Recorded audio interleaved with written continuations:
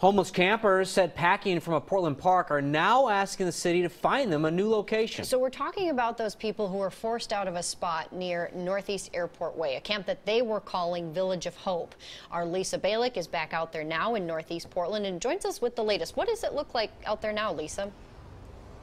Well, we came out here because we heard some rumors that perhaps the campers were moving back into this area. It's city owned property in an industrial area, but it's a natural area. That's one of the big reasons the city didn't want them out here. In fact, some of the campers were out here yesterday with tents protesting.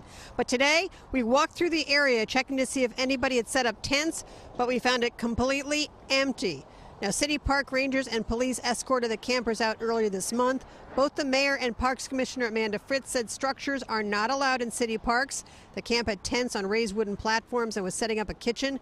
Camp organizers today tell me they got the message, but they also have their own message.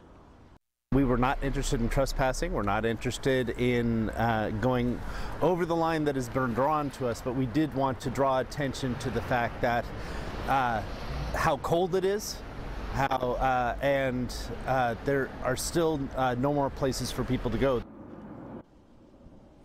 Now, the city does have emergency shelters open during these snowy and very cold days, but the campers say they want a permanent place. But the city does not want independent camps established without running water and bathrooms.